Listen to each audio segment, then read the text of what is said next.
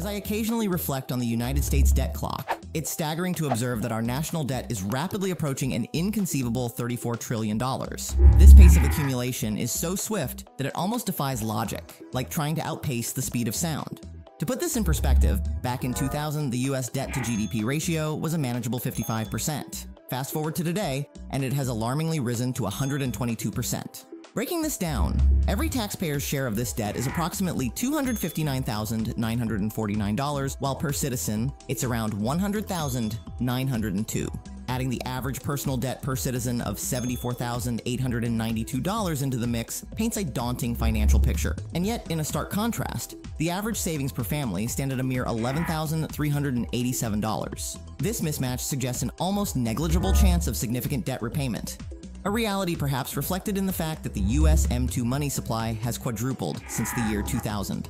From my vantage point as an asset based lender, I see this not as a mere shuffling of numbers within the US balance sheet, but as a profound misallocation of resources that generate minimal value. This is in stark contrast to our status as the world's largest economy.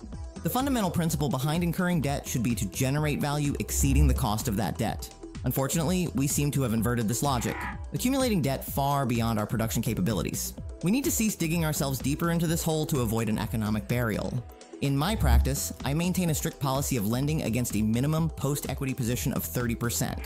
If the US balance sheet were a loan application, its post equity position would be less than 4%, making it an utterly unviable lending prospect. The US debt to income ratio further solidifies the impracticality of lending under such conditions. Clearly, we are navigating through perilous financial waters. And the solution isn't more debt, it's economic recalibration.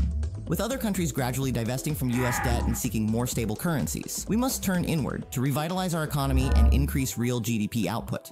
Continuously resorting to debt to address immediate financial crises only compounds our long term problems, ultimately paving the way for an economy that benefits a select few at the expense of the majority. The goal of borrowing should be to enhance, not bankrupt, our future prospects. I encourage everyone to periodically review the US debt clock. The real solution lies in curtailing our borrowing habits, because true prosperity comes when we produce more than we consume. That said, this has been Nathaniel with Fulford Lending. Thank you for watching.